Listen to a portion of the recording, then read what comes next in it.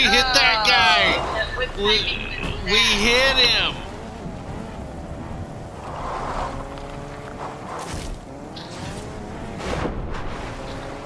I should have gotten the kill for it.